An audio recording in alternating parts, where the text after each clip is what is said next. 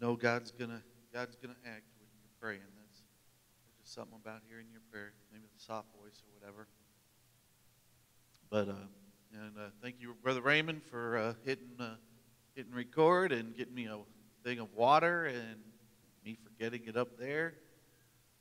Um, thank you, Ms. Jean, for giving me a 30 minute time period to get all this done. Um, all I'm going to say to that is God is good, He gave me a longer word than that. I think uh, when it was when I practiced it, it was longer than 30 minutes. So, sorry, Miss Jean. Uh, continue to pray for our family. Uh, Miss Amy has got pneumonia and has been out of work for a couple of days. Uh, in fact, they kicked her out of work. She she's pretty pretty tough old gal, and not old. I didn't mean old. Pretty tough girl, young girl, very very young girl, and uh, and boy, I tell you what, she uh, she was fighting it tooth and nail, and uh, and so whatever she doesn't have, I, have got. So uh, praise the Lord. Just pray for our family. Uh, they're putting a new roof on my roof. Praise the Lord. Thank you for insurance. And the neighbor who got the roof before me, who told me that I had roof damage and didn't know it. And uh, so that, that's all getting taken care of. And uh, we're starting a new theme. Our theme is, uh, uh, oh, Raymond told me before, family tree and something else. family tree, family tree, genealogy, or a list of list of uh, list of people in your family, and and uh, God just would not release me to preach specifically on that. Uh, however, I can direct you to places in the Bible where it gives you plenty of family trees. Uh, Matthew 1 1. Go ahead, start right there. That's a great genealogy right there. And, uh, and there's a specific reason for that genealogy other than other genealogies. So you, uh, you might want to read that one up. I'm, uh, I want to bring to you a, uh, a sermon they call that that's I've titled it "A Love for the Bible." Love for the Bible. And since I do have uh, limited time and uh, more word than I probably need, but I'm going to start right on into it. Let's pray actually first. Lord, we just thank you for this time in your in your presence. We thank you for your Holy Spirit that, uh, that comes into this place and touches each and every one of us, Lord. Uh, we thank you for the, for the word that you've given me, Lord, that uh, um, thank you for not releasing me from it, and, uh, and, and that it's, it is a word for today, a word for our, our congregation. And uh, I just uh, I thank you for all of that, Lord, in Jesus' holy name. A love for the Bible. You know, uh, first off, I've read the Bible. I brought my own uh, object lesson. I got my object lesson. And when I went looking for my when I went looking for my Bible, I couldn't find it. And while I was studying, so I had to pull out the archaeological Bible, which is a big old thing, and and I couldn't find my favorite little Bible, and, and so I found all seven of the Bibles sitting up there, uh, up here at the church. Apparently, I just I read them and then just leave them up here. But I have read the Bible through seven, about seven times. I've listened to it about two times all the way through. Uh, besides that, I've read the New Testament uh, probably three times in other lang- other versions than New King James, New Living Testament, and uh, NIV, and only one other time in the Old Testament. Uh, you, you, know, it says in 2 Timothy 3 16 and 17, all scripture is God breathed and used for teaching, rebuking, correcting, and training in righteousness, so that the servant of God that's me, that's you, may be thoroughly equipped for every good work. And I usually read the Bible once a year. Ever since uh, I got into the Berean and got into our psalm, and I, I decided, you know, if I'm going to be charged with what this says, if I'm going to be charged with what this says, I should know what it says. Right? I, I'm not saying don't read anything else, but I should know what's in this Bible. I should, I should have an understanding at least, you know, that, of what I'm going to preach and how I'm going to teach it and, and how it all connects together and stuff like that. And, and because I've been reading it once a year, every year, I've, I've, I've been doing pretty good with that except for last year. It was supposed to be my Bible audio year. And um, man, I just love listening to the Bible on, on, on audio when it has, uh, you know, the commentary and the music behind it and all this stuff. And, and, uh, and I was encouraged because Amy and I were driving back and forth to work together. And we got the first disc of Genesis 1 through 20, and we put it in and we listened to it all the way to work. And it was a good 40 minute ride. And oh man, it was great. And I went to go put in disc 2 on the way home, and there was a huge rejection. And uh, there, so I never got to listen to the Bible all the way through this, uh, this last year. So I, I was kind of encouraged. And, and, you know, see, I'm not one person that, that I can't, I don't memorize it like Brother Tom and, and uh, you know, Brother uh, Dean Caldwell, who can just, and, uh, you know, and I'm not always that great at getting the golden nugget out of it like Brother Tony or, or Pastor you know, where they, they automatically run to that gold nugget and they have it in their mind and they already know about it. And, you know, I'm not an apologist, but uh, I say a lot of apologies, but I'm not an apologist and I'd love to do that. I'd love to have that much knowledge in me and to be able to, to, to be able to do that. Just me, simple old me, little old me. And uh, I, the, the person who can't stand still or sit still for five minutes and and I have to really, when I read my Bible, I'm serious, I really have to concentrate. Shut the doors behind me, stop the music uh, playing, or hide from the TV sounds. You'll get away from the kids, the dog, the cat. By the way, we got a. And um, so I was supposed to read it. Uh, this was going to be, like I said, my third time actually to read it on the, to listen to it on the CD. And, and, uh, I got I was pretty motivated about it. Now, even though you know you got to go through Job's rants and the census of names that I can't even pronounce in numbers, it's the poetry that to me doesn't have any rhythm, songs that don't even have a rhyme, and even for the veteran, even for you guys, for me, I don't know, it, it could be kind of a challenge to read your Bible and uh, and and and and be encouraged while you're reading it. And so I, I am going through this to, to encourage you to do, to see how precious that this amazing Bible is, to just see how, how, how good, how much you can pull out of this and, and to stir up a hunger and a passion in you like there is right in me right now to read this book uh, more and more. And, uh, it, you know, I was excited. And I went to a friend's house and we were talking about Bible and we were talking about God when when this happens and after Revelation and, and what is heaven going to be like. And, and I told my friend, I was like, hey, I'm real excited. I'm going to read the Bible in an American Standard Version, an, almost like an English version. It's my first time for doing that. You know, I've read the NIVs and the and the and the KJVs and stuff like that, and and you know, I, I, I first off, I encourage you to read the Bible in other versions. If you're a mature Christian, then I'd probably warn you about a couple different versions.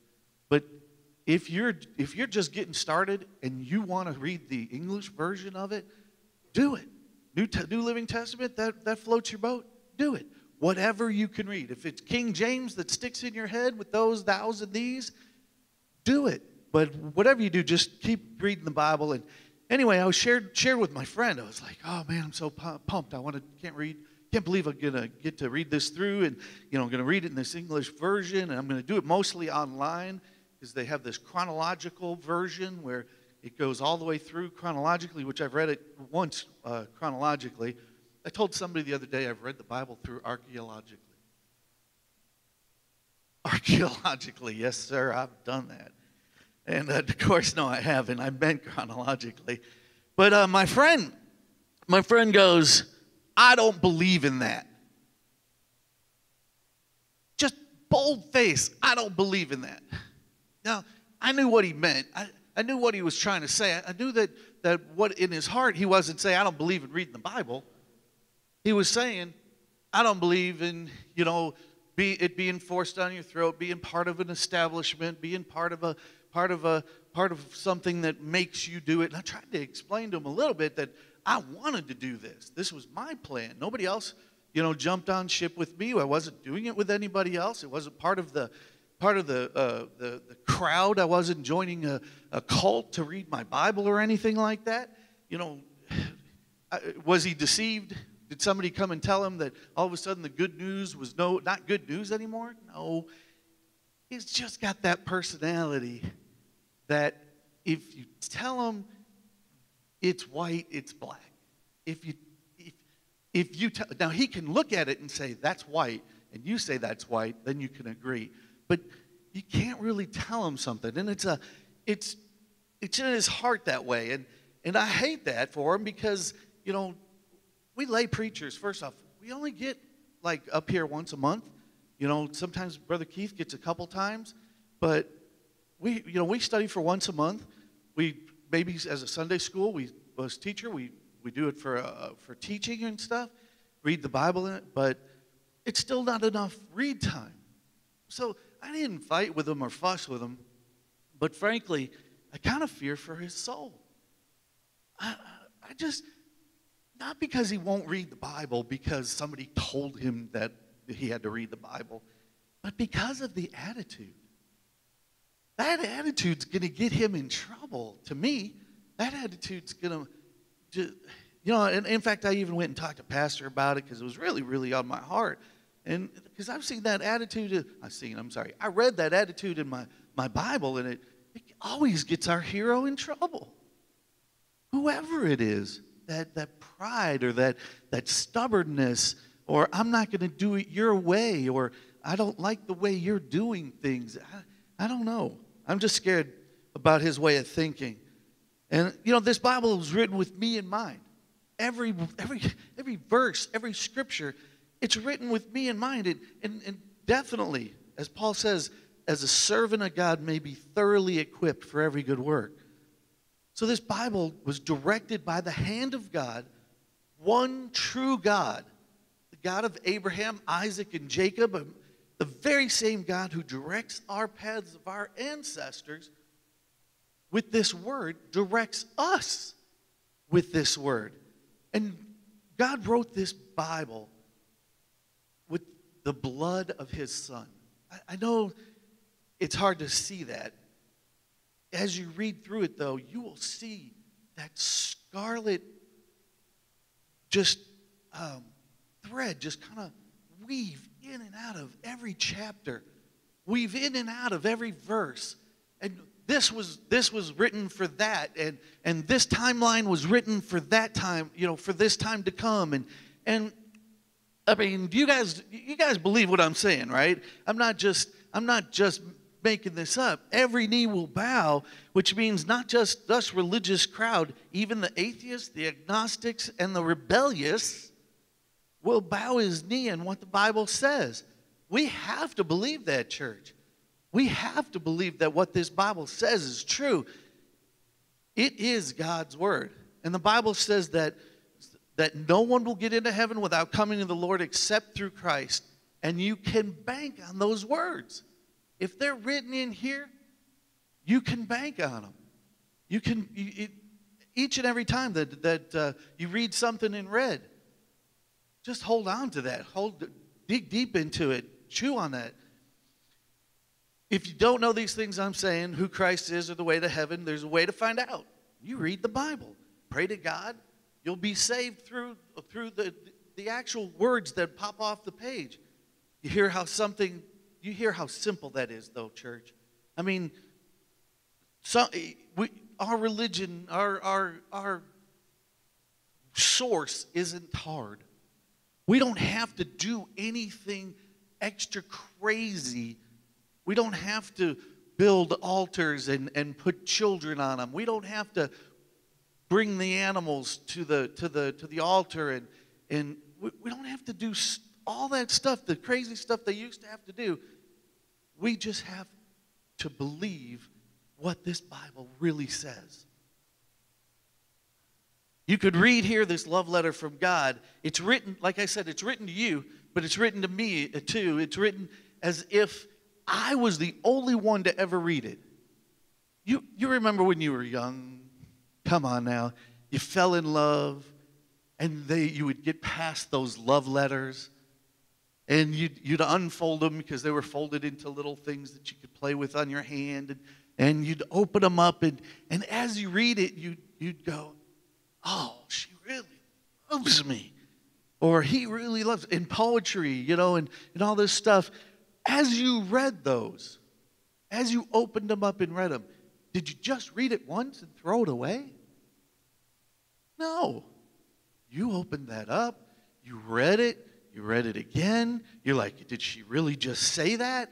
You smell the, the paper, because sometimes mine came smelly.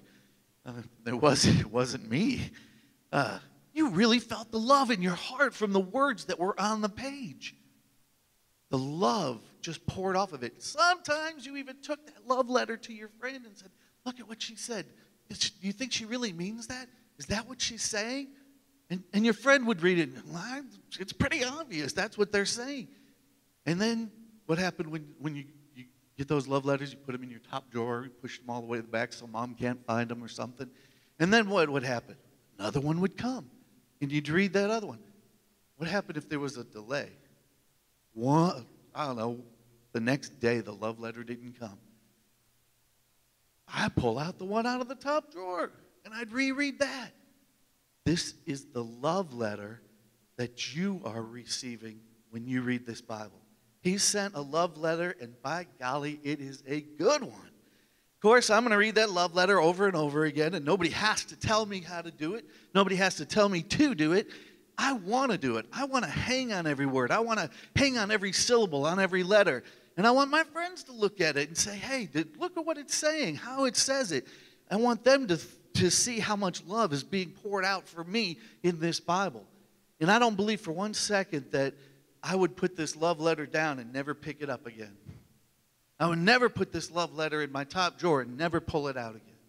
I truly believe that knowing that it's a love letter, I'm going to pull it out and I'm going to read it again and read it again and read it again. And I also believe that no matter what time of year that there's a season for this Bible. Just like the seasons in our lives that we go through riches, poverty, sadness, joy, peace, chaos, worship, praise, or maybe lost in the desert of sorrowfulness, there's someone going through something similar in the Bible if you look for it. It's in there. And we can learn from that. We go through so much. This real life is just, it, it bogs us down. But I always, there, there's always a reason to read your Bible which is the reason that you should always read your Bible. Not just in the good times, not in just the times that everything's going well, but in the bad times too. When we feel good and when you feel bad, His Word is there for you. His Word is faithful, His Word is true. You may not want to believe it, you may have the devil fight you at the, every turn, but this Bible is God's living Word sent to help us and guide us.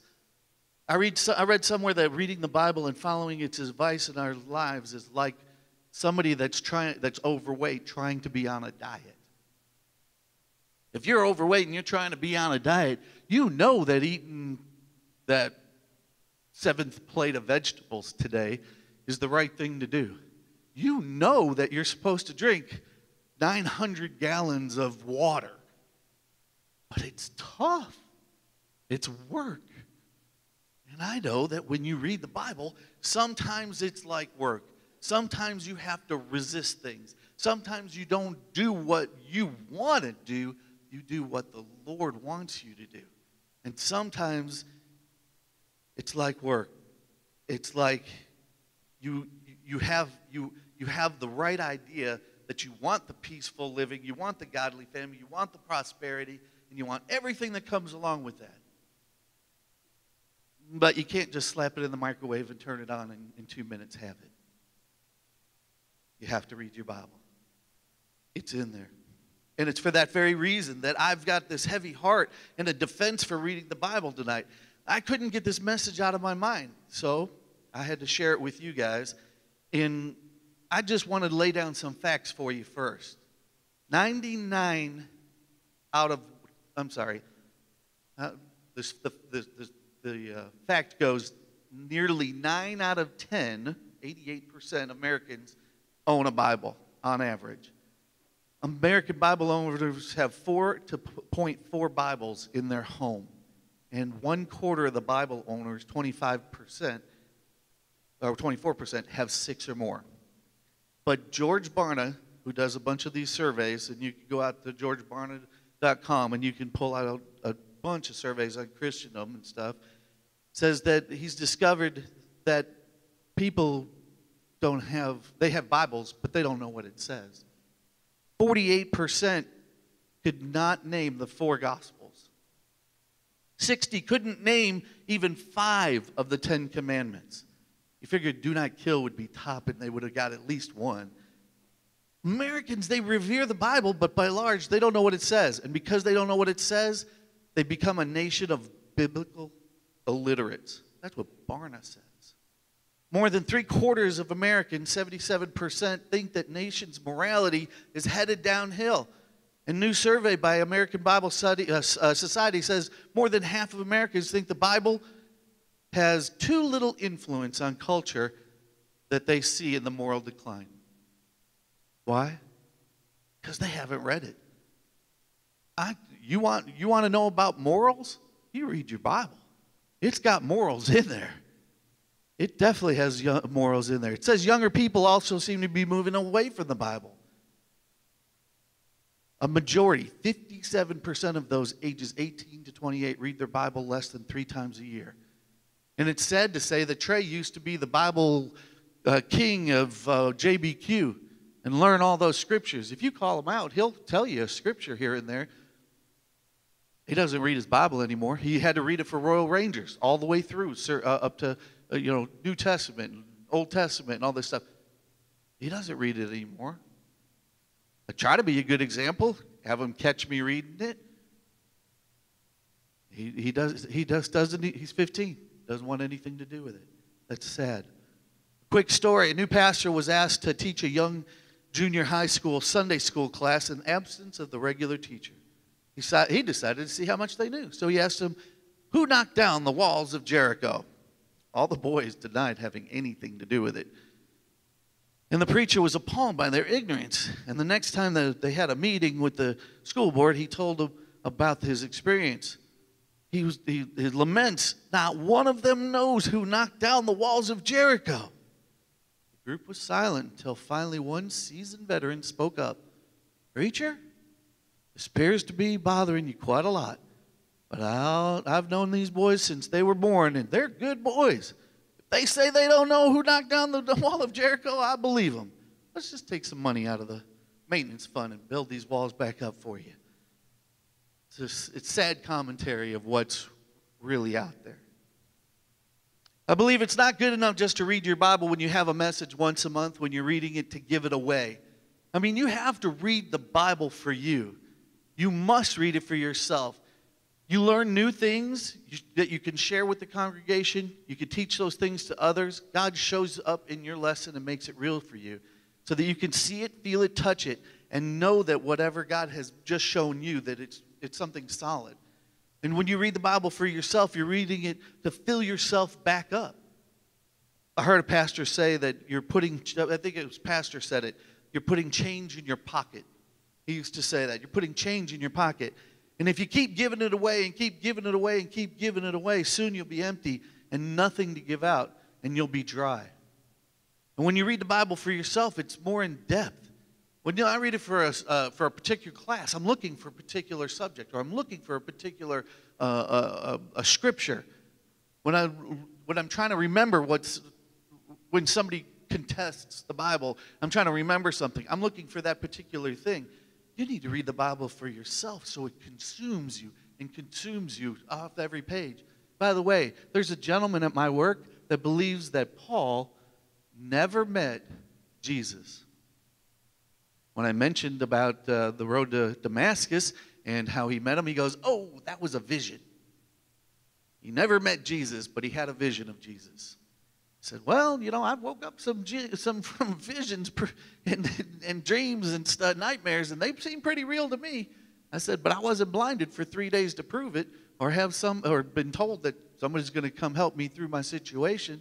I think it was Ananias, whatever it was. And, uh, and uh, all that. And, no, Jesus never met with Paul.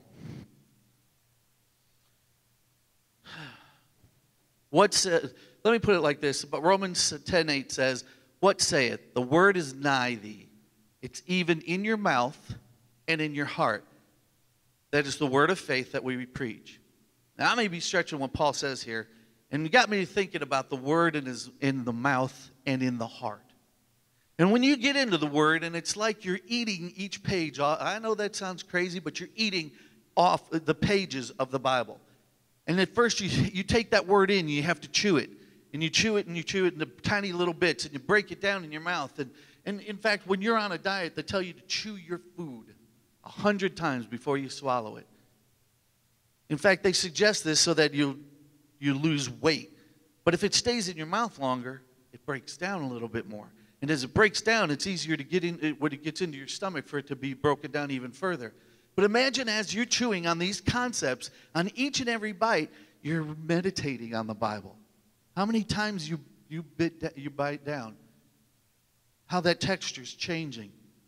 Seriously, as you read the word and you take that bit in, of the word in your mouth and you ask yourself, what is being said?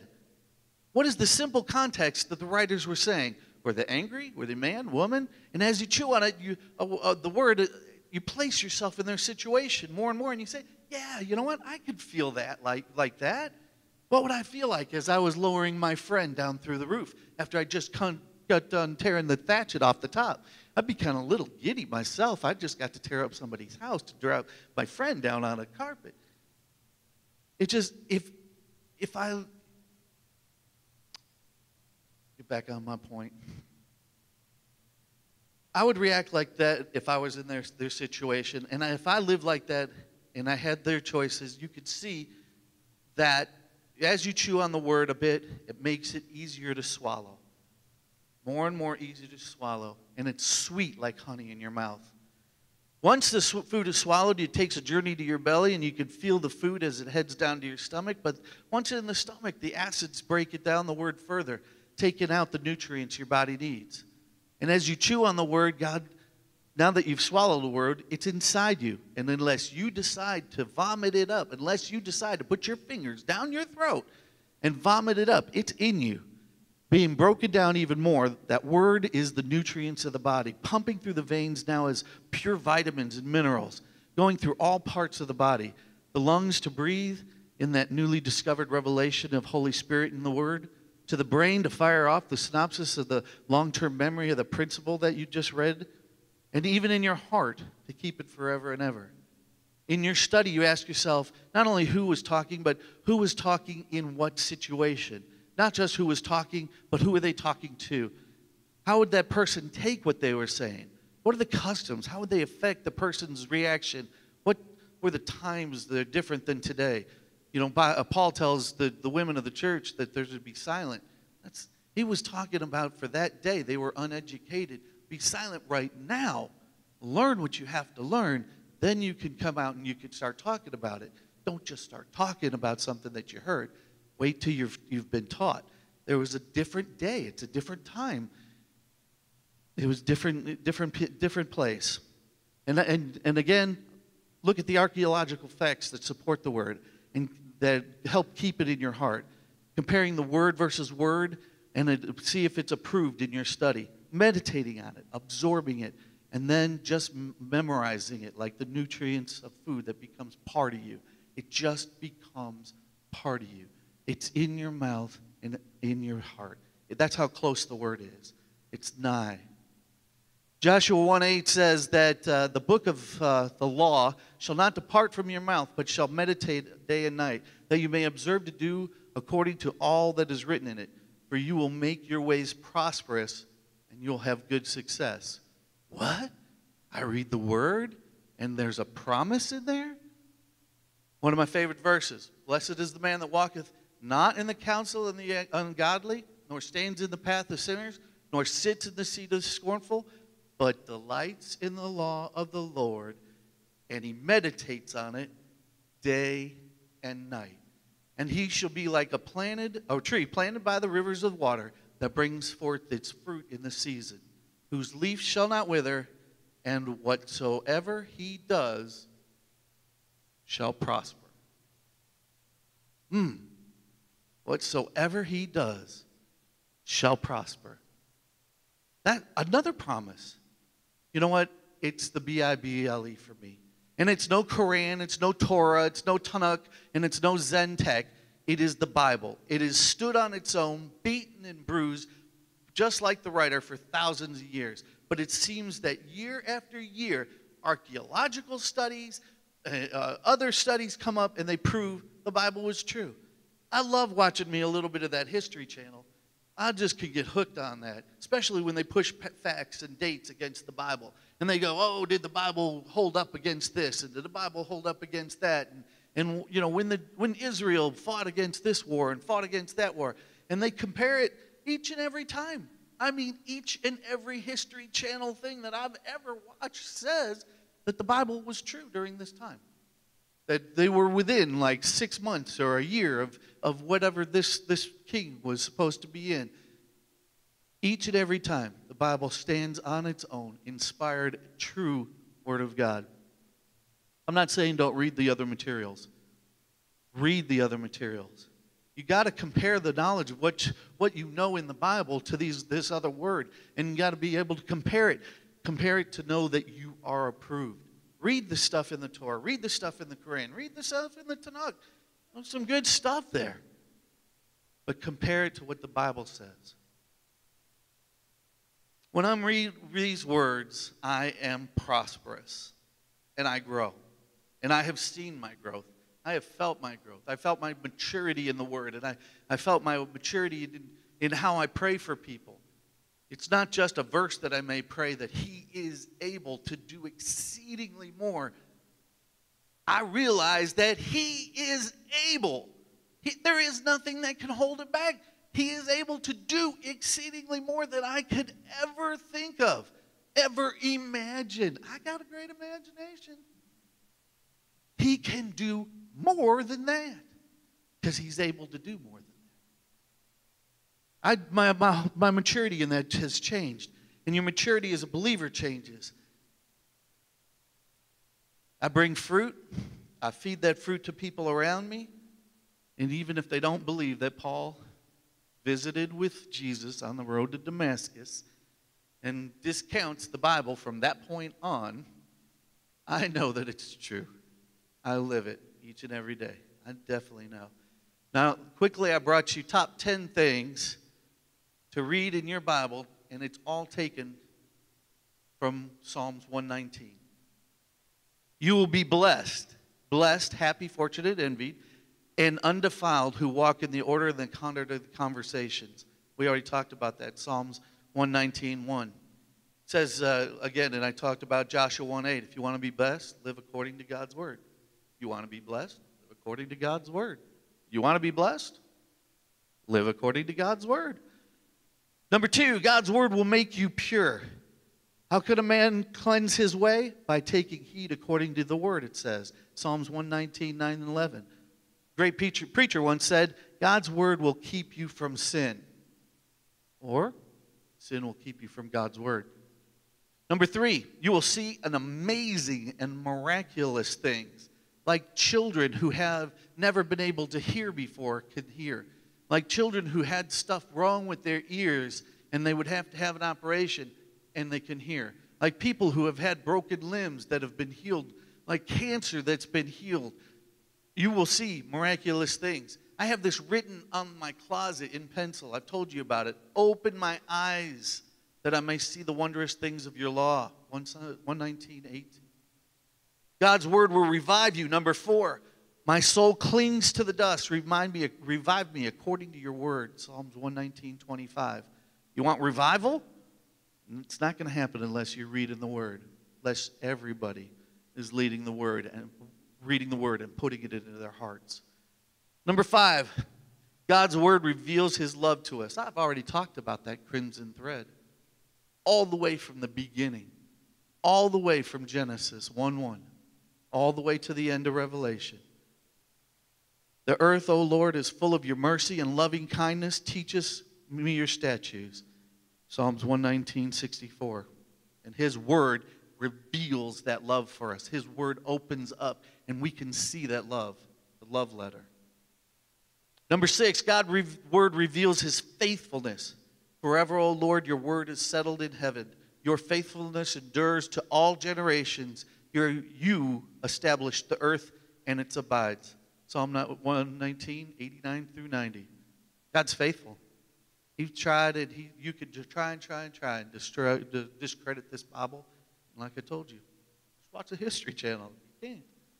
Number seven, God's Word gives wisdom and direction.